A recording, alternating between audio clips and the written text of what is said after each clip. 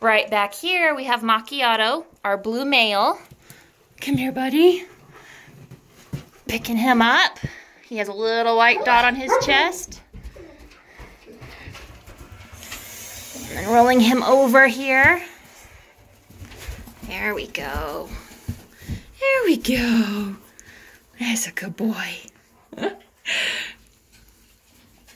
That's a good boy.